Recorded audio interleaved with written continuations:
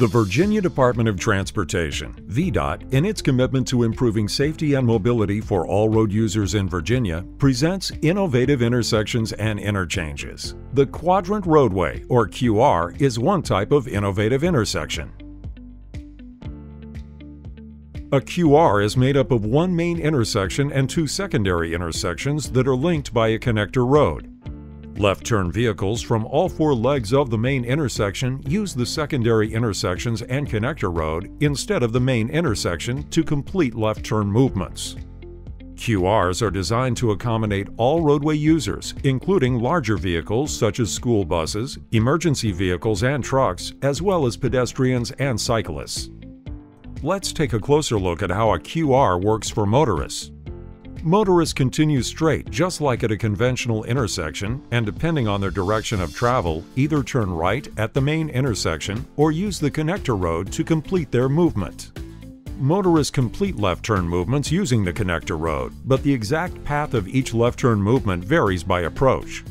Some motorists complete left turns without traveling through the main intersection, other motorists travel straight through the main intersection and use the connector road to complete their desired movements. Pedestrians and cyclists can also navigate a QR.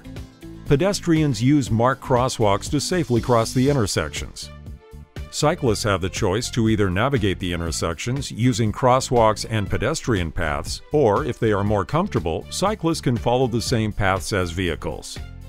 There are several benefits of a QR design, such as Improved safety.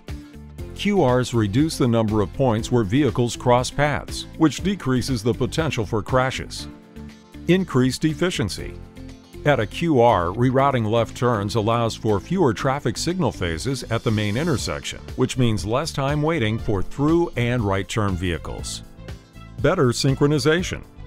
Synchronization of the three main intersections at a QR improves corridor travel times on both the major and side streets. To improve safety and efficiency on Virginia roads, VDOT works with local jurisdictions to find the right intersection type for a location and tailors the design to its specific needs.